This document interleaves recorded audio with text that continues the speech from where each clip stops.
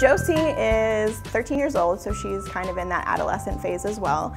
Uh, but she definitely is her mom's daughter.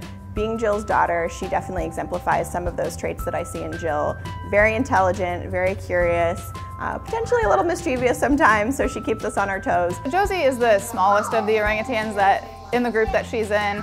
Um, as orangutans get more mature, their faces tend to get a little bit darker, so Josie is still fairly young. She's still a teenager, um, so she has a little bit of pink around her eyes or whitish pink around her eyes. That's kind of the quick, easy way to tell her apart. Josie, just like Kaylee, is still very playful, um, but she doesn't need other people or other orangutans to have fun. A lot of times you might actually see her off in the corner playing with herself, she'll grab like a towel and kind of throw it up in the air, or she'll grab a box and she'll be like inside the box. Uh, she has a lot of fun just kind of doing whatever.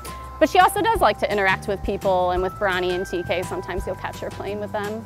Josie likes to antagonize TK to get her to chase her. She thinks it's fun. And there was one day she had a blanket and she would hold it above TK's head. I call it fishing for TK. Um, so she would kind of like let it hit TK's head. TK, you know, would try to grab it and she kind of do that off and on. They just kind of have this love-hate relationship where they'll play and then they'll chase each other and kind of go back and forth with that.